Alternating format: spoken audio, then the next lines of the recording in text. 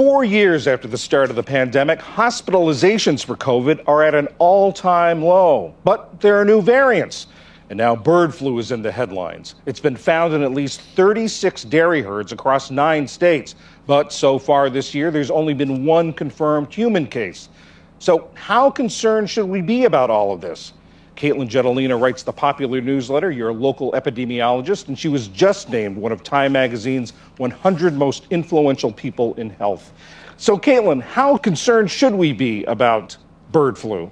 Yeah, you know, what's clear is that this is continuing to spread among cows and other animals, but the risk to the general public is very low. Um, and this really means there's nothing we can do other than don't touch dead birds or animals, don't drink raw milk, and maybe even call your congressman for better biosecurity support. But this is definitely not March of 2020, and it's definitely not uh, even January of 2020. But of course, the situation can change, and usually with outbreaks, it can change very quickly. I think that alarm bells for the general public should really start going off if we start seeing human to human spread. Right now, it's really an all hands on deck response for public health to prevent another pandemic and staying laser focused on protecting the small group of Americans that are, are at higher risk, and that is dairy and poultry workers right now. The, another thing that's caught a lot of people's attentions was the report that the FDA had found uh, dead viral fragments in milk milk bought at grocery stores. That sounds pretty scary. How concerned should people be about that? It is scary and it does sound scary, but I I calmed down when I knew that we have over 100 years of data on the effectiveness of pasteurization.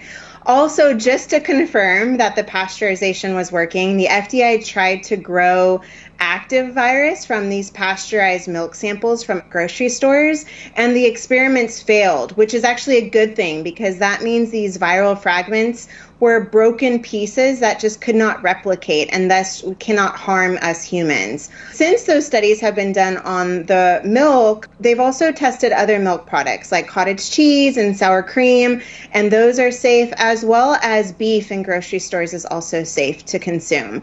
I think the bottom line here is just do not drink unpasteurized milk. It can make you very sick, especially at this time. So that's bird flu. Let's talk about COVID. Tell us about these new variants that have the uh, intriguing nickname flirt. Yeah, so what we know is that COVID continues to mutate, right? This is just what viruses do. The latest and greatest variant is Omicron, but with very small changes, right? These flirt variants have only two additional mutations on the spike protein. Uh, this is compared to about 50 changes that we saw uh, with the huge Omicron wave back in 2021. So, just with two small changes, we know that this isn't going to cause a tsunami of infection. Um, it's just not different enough than previous ones. The question is whether it will cause a wave, a wavelet, or nothing at all. And unfortunately, time will, will just tell. So only two mutations. Does that mean that the if you got a booster last fall or since last fall, that that would take care of it? That those variants would not be able to uh, uh, get around that booster? If you're up to date on your COVID 19 vaccine, which for the majority of people means a fall vaccine. Some are eligible for a spring vaccine. And yeah, it's not a perfect match, but it will certainly help against severe disease and death. Because this has mutated a little, that may mean we'll see a little more infections than before, but you are uh, very well protected against severe disease if you're up to date. Is the COVID vaccine going to continue to be reformulated and keep up with these variants and, and sort of almost like the annual flu they have to figure out what the uh, dominant strain is going to be yeah, that's exactly right. It looks like we're moving towards a flu model, right? So, where COVID 19 vaccines will be updated every year um, to match as best as possible the circulating strain. The FDA meeting is actually next month, is mid June, to make a final decision on what exact strain is in that vaccine.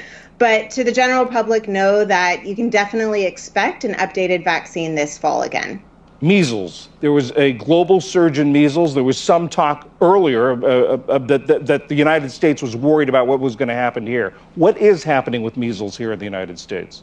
Yeah, I mean, measles is coming in hot this year. Um, and while the US has a small number of cases, right, 132 cases across 21 states, it's still more than double than we had last year. I think the biggest problem with this is we're giving measles opportunity to spark more, right? With more embers um, because fewer people are getting vaccinated. And the challenge and problem with this is it just increases the probability of a spark finding a really large unvaccinated pocket and spreading like wildfire. So we were really wanting to reduce these embers as much as possible right now. Back to COVID, with the ebbing of the pandemic, that a lot of these requirements are going away, and just recently, the requirement for hospitals to report data about COVID hospitalizations ended. They no longer have to report that information. As an epidemiologist, does that concern you? It's incredibly concerning um, because it feels like we are kind of going back to our pre pandemic times. It was incredibly important to have hospitalization data to understand where we need to be concerned, where action needs to take place, or like right now, that hospitalizations are really low and we can relax a little. I think the positive news, though, is that Health and Human Services is proposing a new rule that all hospitalizations continue to report COVID 19 as well as other viruses uh, starting on October 1st during non emergency times. And it's certainly open for pu- uh, public comment, but I'm optimistic that this reporting will continue, which will allow us to have a really nice national picture on what is going on with viruses at the moment. Katelyn Jetelina, thank you very much. Yeah, thanks for having me.